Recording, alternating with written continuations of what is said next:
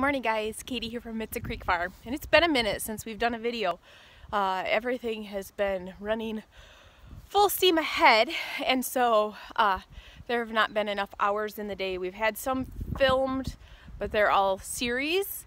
And so um, the whole series hasn't been filmed. And so uh, I have not been able to post anything um, between work schedule and farm schedule and trying to get absolutely everything done that must get done. Um, filming or YouTube has taken a back seat. So I thought I would give a little bit of an update video this morning. As you can see behind me, it is glorious outside and it is nice, a little bit windy. We have had record high temps this past week and so we have been busting our butts outside getting lots of stuff done. Before we get started on uh, updates showing you all the different projects we're working on, I thought I would give you an update on uh, the electrical situation.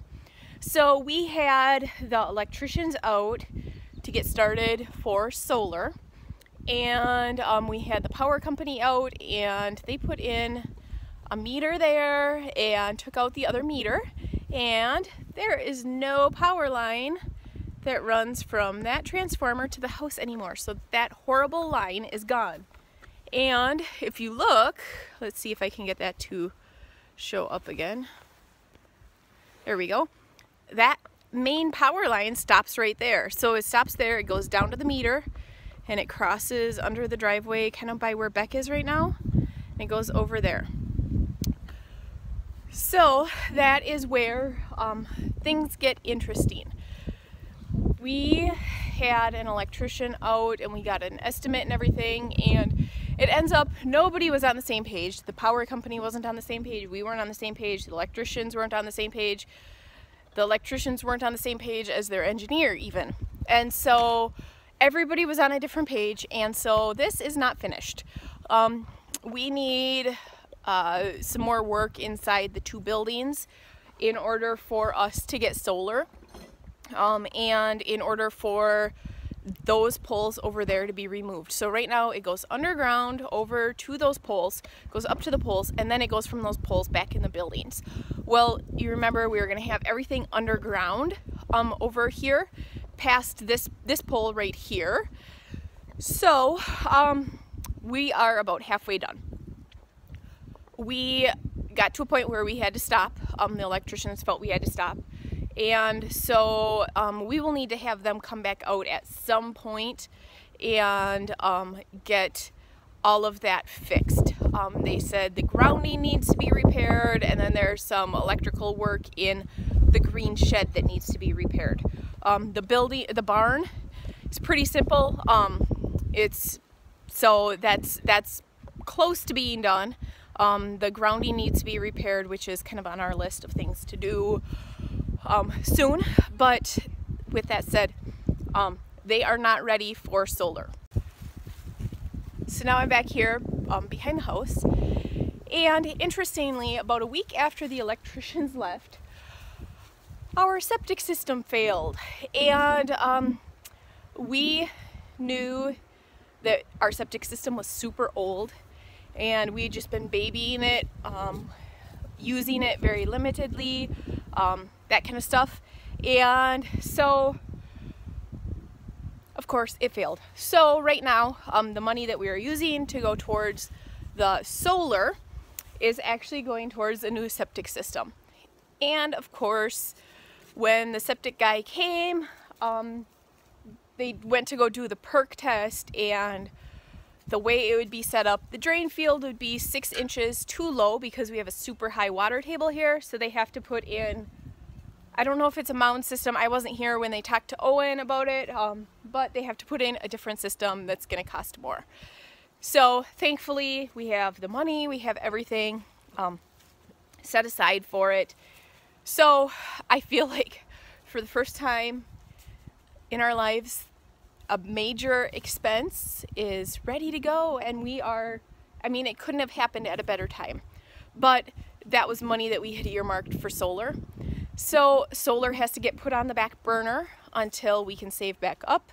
And um, we are, I think this week, um, they will be replacing this.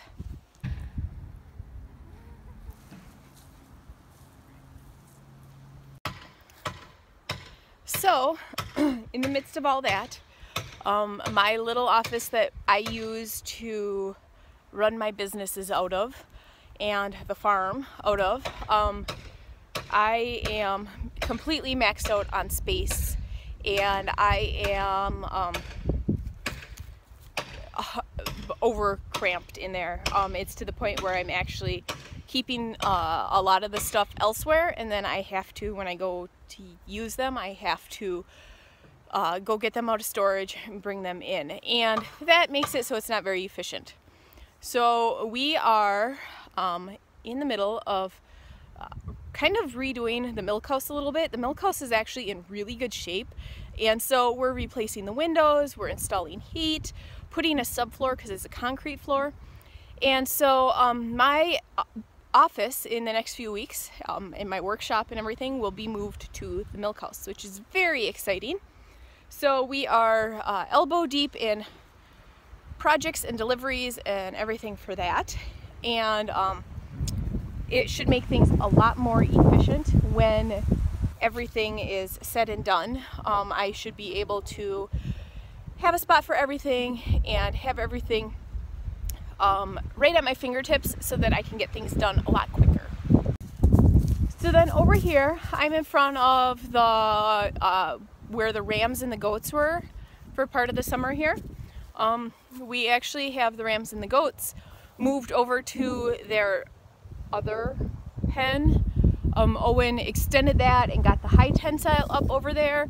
And so they have uh, over an acre of woods there that they are cleaning out again. They actually uh, were there in our previous videos, like for previous years. Um, and so they were happy to get back in there and get all that stuff eaten down. And they're still working on it. And um, they have quite a bit done, but like they've never had access to those pines over there um, or up on the other side of the chicken coop, that kind of stuff. So it's quite a bit larger, so they are enjoying their time in there. We'll probably keep them there for the winter. Um, it is breeding season coming up for the rams, and so we will have to move them um, to the breeding pen. And um, but they're they're content in there for now. They're far away from the ewes, so that's good because then we don't have anybody trying to escape. So then over here in the goat pen, um, I was thinking about winter plans and everything that we're doing for the winter. And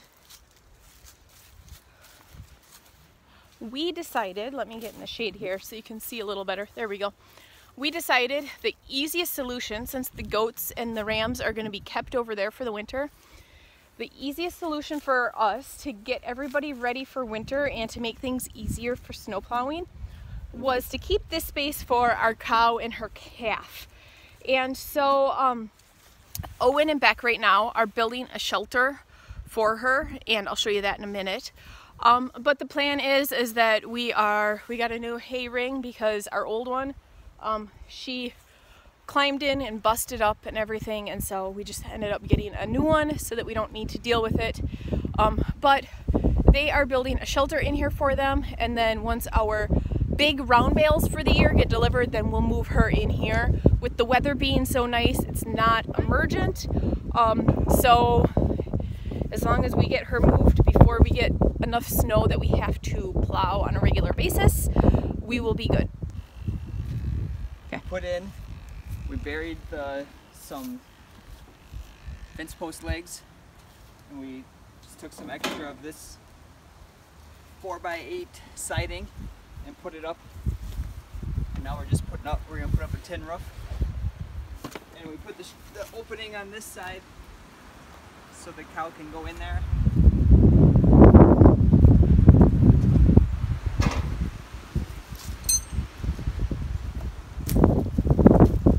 So we three-sided structure to keep her out of the wind.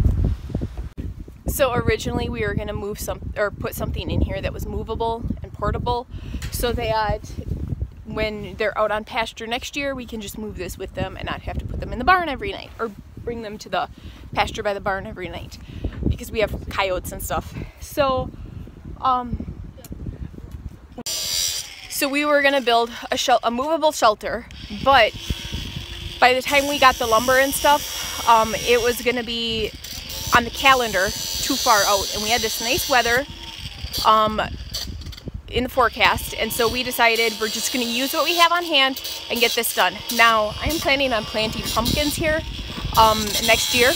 And so this is going to have to all be taken out, which is fine. This is all stuff we had on hand, so we literally have no money invested in this. Um, the siding is left over from the high tunnel and the stone coop and this was just a piece of MDF that they found somewhere. Um, they do have to do a little bit more right there and then in the peak um, but they're using even lumber that was like in a scrap pile. So totally free and able to just get it done. Uh, they worked on this for a few hours the other day, got the holes dug, got the sides up, got it kind of all framed in. And so today they're gonna take the hour or so and get this roof on. Go down a little bit flatter.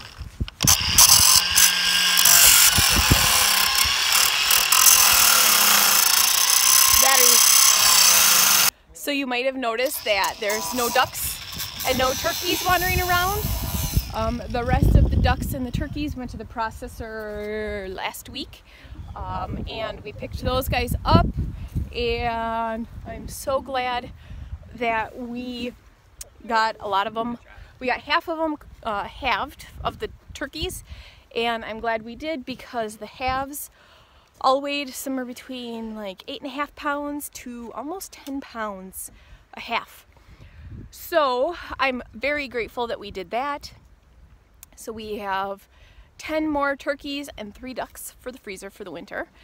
And um, when we have some more time and the weather's cooler, we're gonna actually cook up some of that and freeze it um, in food saver bags so that we have pre-cooked turkey on hand for um, easy dinners and that kind of stuff. If we're making soup, we can just open up the bag and throw it in. So um, that is gonna be for when it's colder though, because we have to do as much stuff outside as possible.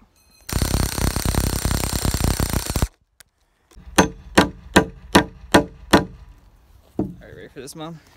Yep. Oh boy. Ooh, wasn't expecting that. Whoa.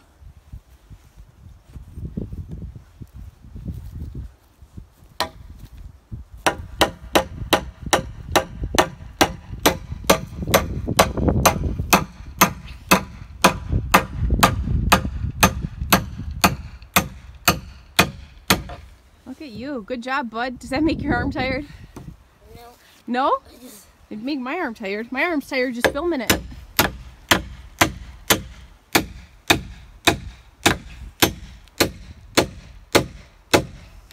Bigger one? I just thought of a really good Christmas present idea for him.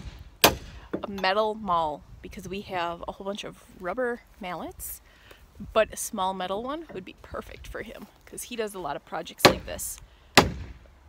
Oh, that's a big one.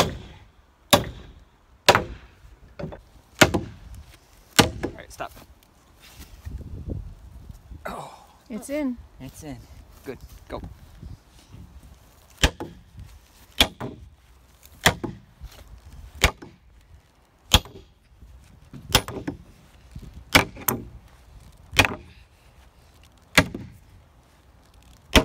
Woohoo! Good job, Beck.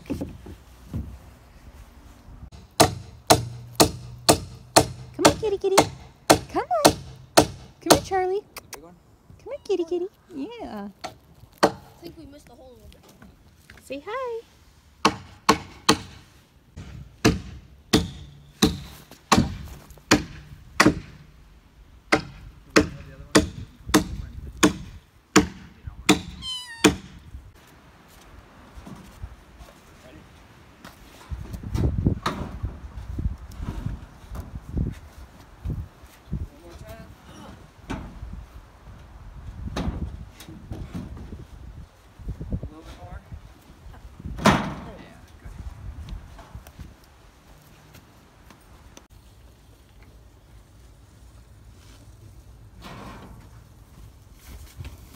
All right.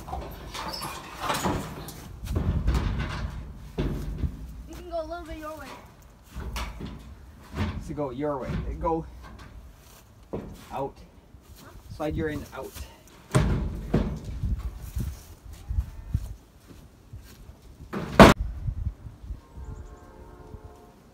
So if we had a board like this.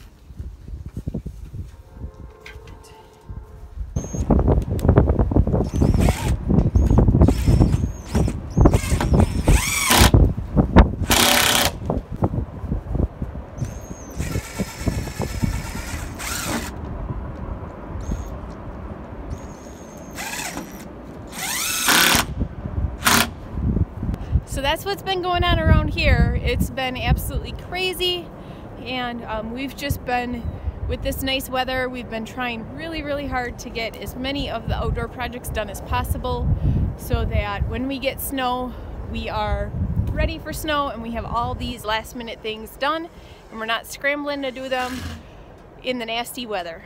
But that's it for today's video. Thanks for tuning in and we will see you next time. On our next video, we'll show you what we're doing to get ready for the snow and um, getting ready for Christmas tree season.